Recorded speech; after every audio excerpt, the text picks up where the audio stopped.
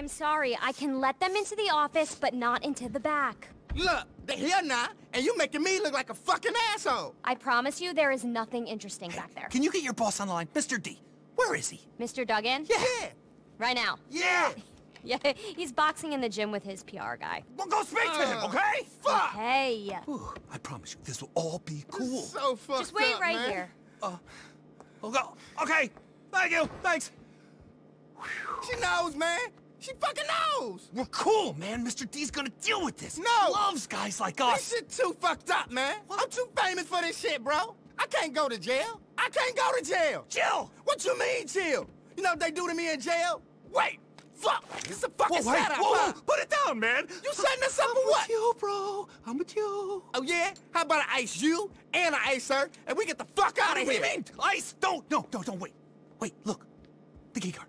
It's right there, bro. Oh shit! My leg! My bad, bro. Fuck. Not in there. You cool or what? Yeah, yeah, yeah. I'll be cool, man. Is Real everything cool.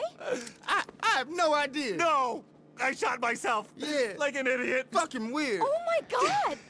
Can you get me to a doctor, please? Yeah, of course. Come with me here. Do I look pale? Do you? Don't touch me. I'm feeling faint, bro.